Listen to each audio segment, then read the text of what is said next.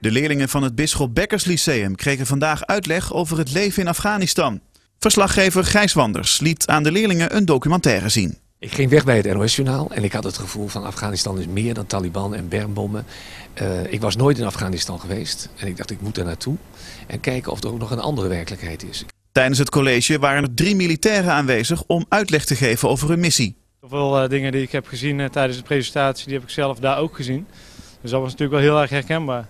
Ook als we kijken naar uh, de ontwikkeling daar en de hoop die de kinderen hebben. Daar heb ik zelf wel aan kunnen proeven. Daar. Bij de scholieren heeft de presentatie wel wat losgemaakt. Ze hebben door de film een andere kijk gekregen op het leven in Afghanistan. Zoals je in het nieuws hoort en dergelijke, merk, ja, krijg ik alleen maar te horen dat het er allemaal slecht toe gaat. En dat het maar ja, eigenlijk niet mooi is daar. En nou ja, ik heb er een stuk betere indruk van gekregen eigenlijk. Mijn vader is zelf ook al in Afghanistan geweest, dus ik wist er eigenlijk al best wel wat van. En, maar het is nog wel veranderd, het is wel positief geworden.